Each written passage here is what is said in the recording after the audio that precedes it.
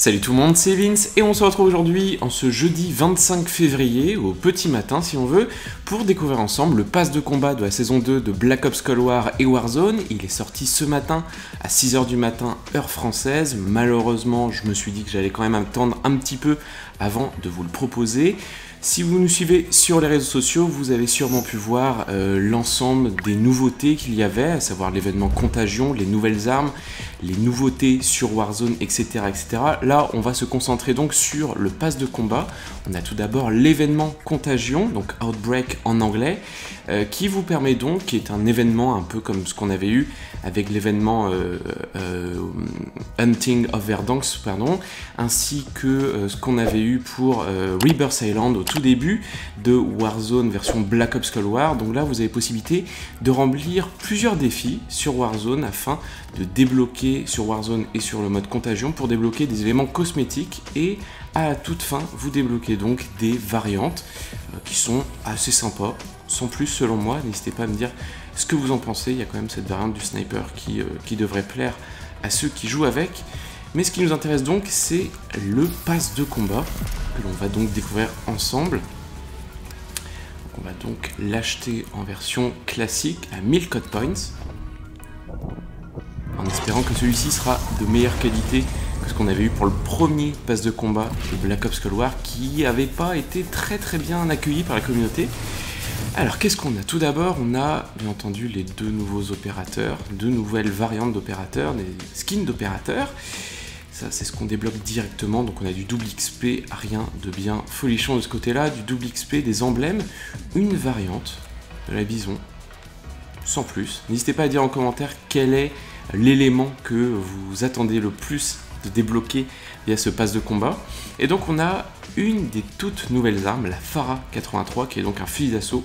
C'est la Galil en soi. J'ai pu voir quelques gameplays ce matin. Ça a l'air pas mal du tout. Faut voir également avec les armes, euh, l'arme montée et avec euh, tous les accessoires. Euh, qu'est-ce qu'on a là? On a une exécution d'opérateur. Plutôt jolie. On continue donc avec des variantes pour les LMG. Une variante pour ce qui s'apparente être le M82, je crois, c'est le, le Barrett version Black Ops Cold War. Les skins de véhicules, toujours Black Ops et version Warzone. Une variante sur la MP5, très jolie, un peu doré, un peu serpent comme ça, très sympa. Euh, qu'est-ce qu'on a d'autre? On a une variante pour l'opérateur. Là, on a donc la nouvelle SMG, la LC10, mitraillette Golf automatique, donc qui avait donc leaké, donc là ça se, confirme. L'apparence semble assez originale, hâte de voir ce que ça donnera in-game. On a des code points, carte de visite, des montres, euh, une variante pour la FFAR, du double XP, des emblèmes. Jolie. Cette variante a l'air très jolie, très sobre, un petit peu doré et noir. Ça rend plutôt pas mal, même si je joue pas trop euh, avec cette arme. Rien de, bien, de bien dingue pour l'instant. Une variante sur le pistolet. Là, on a donc enfin des compilations pour vos véhicules dans Warzone. Oh là là, ça rappelle tellement de souvenirs de Black Ops 2.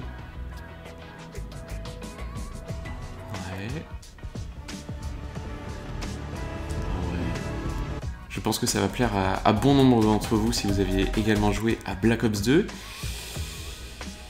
Alors là, c'est le... D'accord. Rien de bien, euh, de bien excitant pour l'instant, mis à part ce qu'on a eu, la variante de la MP5. Là, on est sur la, RPD de Black Ops Cold War. On continue donc, on a des porte-bonheur. On a également une variante, c'est la KSP ça? On dirait bien. Assez jolie, assez jolie. Je suis pas très fan du vert pourquoi pas? Une variante euh, sur le Magnum, on dirait. C'est joli. Je sais pas vous, mais euh, personnellement j'ai énormément de mal avec le Magnum de Black Ops Cold War. Alors là, on continue des montres, des éléments cosmétiques. Ce qui nous intéresse, c'est quand même les variantes d'armes et euh, les apparences d'opérateurs. Là, on est sur la Hogue de Black Ops Cold War. Un petit flamant rose, pourquoi pas? Pourquoi pas, pourquoi pas, on reconnaît bien la patte de Treyarch. Oh Oh, très joli ça très très joli, notamment le silencieux, l'aspect un peu doré sur la Crixis, si je dis pas de bêtises. Ça a l'air plutôt pas mal, ça a l'air très très joli. D'autres euh, d'autres pistes audio, là malheureusement je vais pas vous les, vous les diffuser pour des raisons de, risque de se faire striker la vidéo ou de se la faire copyright, mais je vous laisserai ça, découvrir tout ça pardon, par vous-même dans le pass de combat.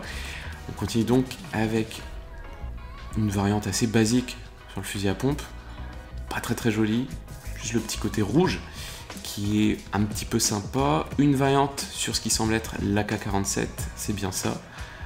Bien coloré. On continue donc, toujours des éléments cosmétiques. Une M16, un petit peu rouge et noir, un peu, euh, un peu tigré, un petit peu abeille. À voir ce que ça donnera in-game, bien sûr. Faut pas trop juger euh, sur l'apparence que l'on a dans le, dans pass de combat. Un field sniper, Ouais. Le Pellington, si je vous dis pas de bêtises, je suis pas un joueur sniper donc j'ai un peu de mal à, situer un peu.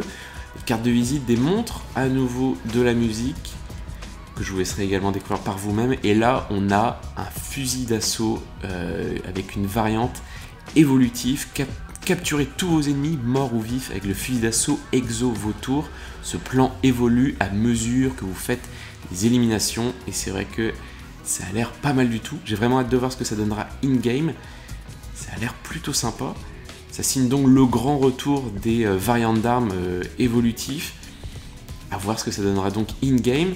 Et donc on arrive déjà à la fin du pass de combat avec donc les derniers éléments que vous débloquez, à savoir une apparence d'opérateur Naga, qui est sympa. C'est pas ce que je, c'est pas ce que je mettrais euh, dans mes parties de Warzone mais euh, pourquoi pas. Une variante pour la nouvelle SMG, assez colorée, malheureusement celle-ci n'est pas évolutive, et donc des véhicules pour euh, Warzone et Black Ops Cold War, et donc le dernier emblème de la saison 2. Comme d'habitude, voilà, on arrive donc à la fin de cette courte vidéo. J'espère que celle-ci vous aura plu. N'hésitez pas à nous dire en commentaire quel élément vous plaît le plus dans ce pass de combat. N'hésitez pas également à nous rejoindre en vous abonnant à la chaîne. Et moi, je vous dis à très bientôt sur Code QG pour de nouvelles vidéos. Voilà, c'était Vince. Salut tout le monde et à la prochaine. Bye bye.